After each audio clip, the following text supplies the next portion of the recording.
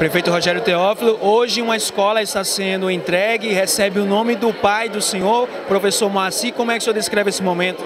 Um jovem de 89 anos que sempre trabalhou pela educação de Alagoas do Brasil professor Moraci é o grande exemplo. Então, para mim, é gratificante como professor, como filho desse professor e que traz no sangue a liberdade do mundo contemporâneo, que é a educação e o conhecimento. Então, para a gente é gratificante.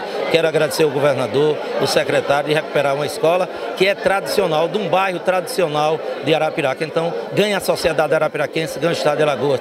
Primeiro, ter uma escola reformada, ampliada. E segundo, ter um gesto e através de um professor que é o timoneiro da educação e talvez seja o professor em atividade do Nordeste, que do Brasil, é, em atividade, que é o professor Marcelo Teófilo, com 68 anos como professor e sem deixar o batuto da caneta. E ele entende que o conhecimento e a educação é a liberdade do mundo contemporâneo.